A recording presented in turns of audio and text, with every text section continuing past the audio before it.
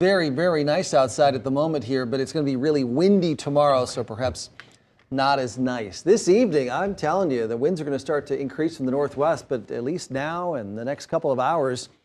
Randby factor eight, beautiful for being and working outside. Temperatures in the low 70s, very dry air in place.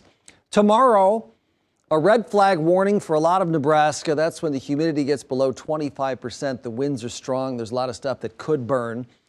A wind advisory through the Omaha metro and into western Iowa. That's where we expect wind gusts over 40 miles an hour. Hopefully, not as huge of a burning issue, but it's dry out there. I mean, if a fire got going, it could really spread quickly. 42 and 74 today, temperatures that are above average for the state. No moisture. This month, we're now three quarters of an inch below average, and for the year, more than an inch below average for moisture. It's a bad start to spring. We need some rain, and none currently in sight of note.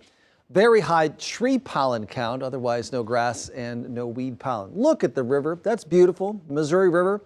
Camera at the Lewis and Clark Monument, the north side of Council Bluffs. It is 73, 12 mile per hour breeze from the northwest, and just a 31 dew point. Humidity is 21%. That's dangerous for fire conditions right there as the winds pick up this evening. Lower 70s for temperatures, breeze out of the northwest. It is gusting for a few spots over 20, 25 miles an hour. And tomorrow, the winds could gust to 40 or 45 miles an hour. Not much on Super Doppler 7 radar, maybe a couple of sprinkles here in northeast Nebraska. Air is so dry, probably not reaching the ground. None of this stuff did as it moved over the Omaha Metro, just some mid level clouds. A couple of showers in the Dakotas. Severe weather outbreak along the Gulf Coast last night and today into the panhandle of Florida. Cold front, northwest winds, and very windy weather on tap for Thursday. A couple of showers, but mainly off to the east of us. Tonight's low temperature 43, breezy. We'll say a 10% chance of a shower. Few areas north and east of the metro. A breezy, cool start and a very windy, cooler day Thursday. Highs only topping out in the lower 60s.